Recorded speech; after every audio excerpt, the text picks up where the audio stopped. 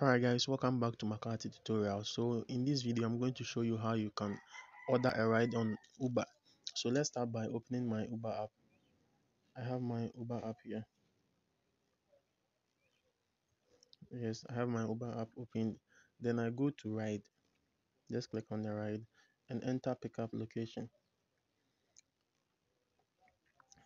For instance i'll say i'll type here at Sofoline yeah.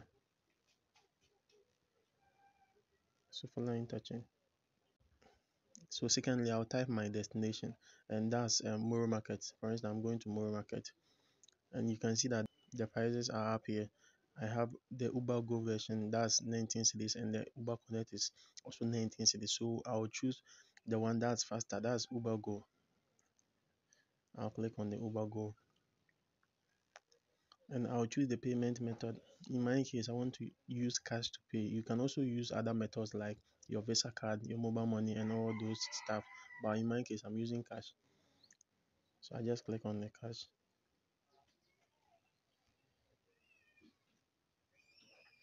And confirm Uber Go. Just click on confirm pickup.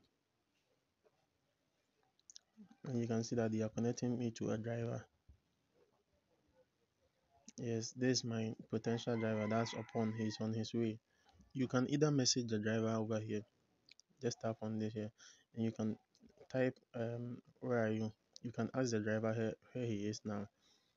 Just type where are you. Or you can call him right from your phone. So you can click on the call sign over here, and you can see that this is his number here. And you click on the number you can choose the kind the kind of sim that you want to call the driver with. So in my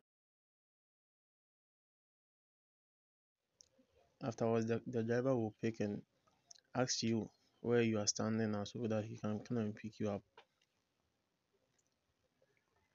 Alright so this is how you can perfectly order your ride on uber. So make sure you stick to my channel and subscribe for more updates